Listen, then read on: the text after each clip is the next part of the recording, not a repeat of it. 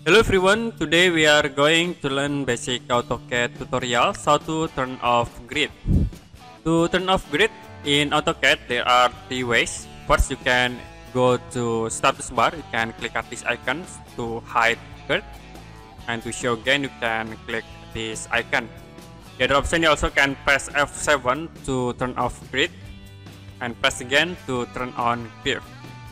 And the last you can tap DS, press enter to be sure for drafty setting dialog box and you can click on snap and grid and you can uncheck for this grid option.